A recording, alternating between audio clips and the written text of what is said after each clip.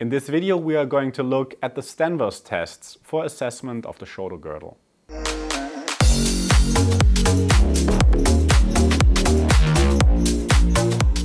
Get our very own assessment ebook and mobile app. Links are in the video description. Hi and welcome to PhysioTutors.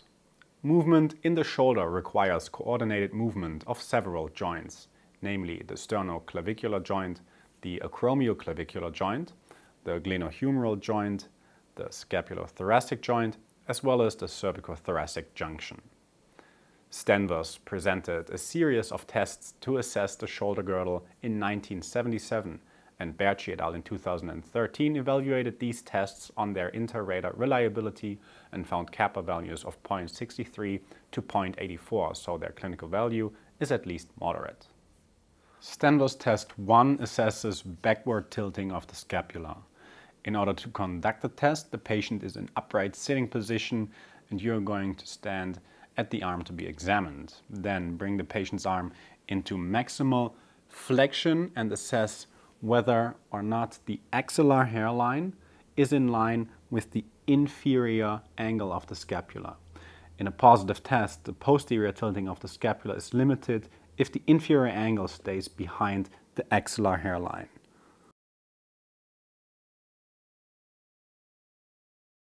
Stenvers test 2 assesses clavicular rotation.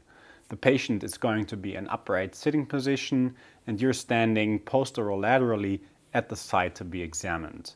Place your middle or index finger on top and behind the clavicle shaft.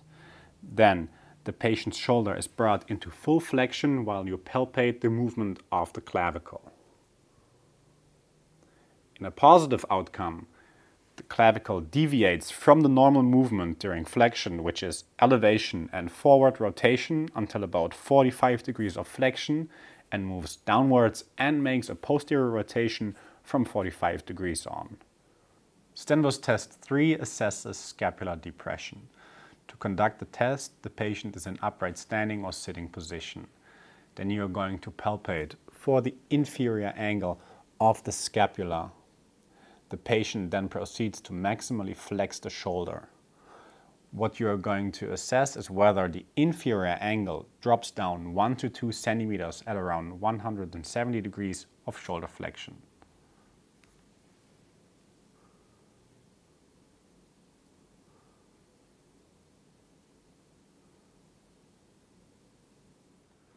Stenvers test 4 assesses the cervicothoracic junction. The patient is in upright sitting position and you're standing posterolaterally at the site to be examined then palpate for spinous process of C7 and place the thumb contralateral to the tested shoulder against the spinous process. The patient then actively flexes the shoulder maximally. What you're assessing is whether shoulder flexion is coupled with contralateral rotation of the vertebrae in the cervicothoracic junction.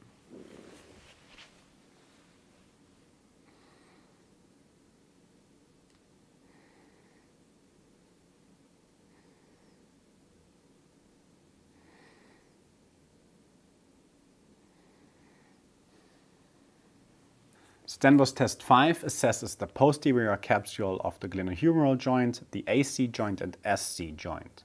The patient is in upright sitting position and you are standing behind them.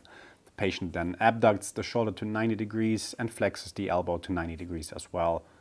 While you support the patient's elbow with one hand, use the other hand to fixate the patient's scapula by gripping onto the lateral border of the scapula patient can also place their other hand in a fist on their sternum. Then move the patient's arm into maximal horizontal adduction while you keep the scapula fixated. This should be around 100 degrees. Once you reach maximal horizontal adduction, let go of the fixation and here you'd expect to be able to move another 20 degrees into horizontal adduction.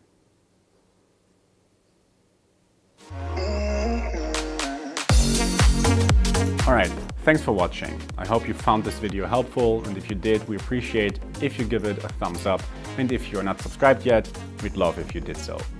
Check the links in the video description down below or continue by watching another recommended video on the left. maybe you want to check out our online course or assessment products, links to all of these are in the description down below as well. This was Andreas for PhysioTutors. I'll see you next time. Bye.